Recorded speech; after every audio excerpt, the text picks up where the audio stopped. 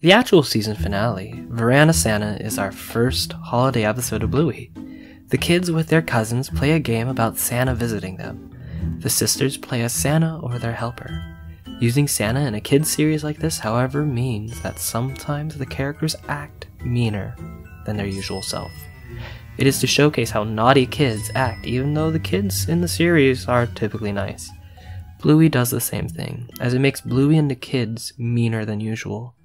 However, it's to make the final moments that much more emotional. Bluey acts like a complete bully in this episode, trying to teach Socks a lesson about biting people.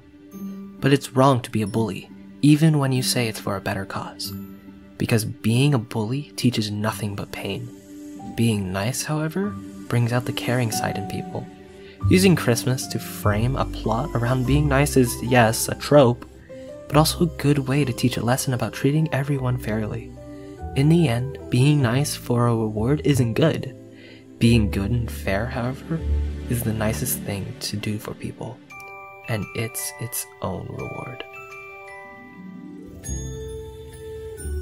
Make sure to subscribe or follow for more content, and comment down below any feedback. I always appreciate the support.